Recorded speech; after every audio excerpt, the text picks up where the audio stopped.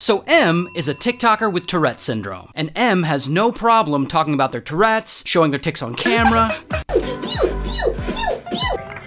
Install this. Until one day, people online start accusing M of faking their Tourette's. And what proof do these anonymous people have? Well, M also has a pagan yarn dyeing business. That's a real thing, which M produces separate content for on YouTube. And in the videos for this account, you may notice M doesn't have any tics, which is wildly different from the way M acts on TikTok. So people notice this and they are not happy and they start blowing up M's comment section. You don't really have Tourette's. You're faking it! What the hell is pagan yarn? So M sees this and M makes kind of a playful video reply, sort of addressing it, but not really taking the hate seriously. But then, before all this chaos, someone created a subreddit dedicated to nothing but investigating M. And people are posting all kinds of stuff there, like an old video of M on a live stream performing a spoken word poem, but no tics. Or the con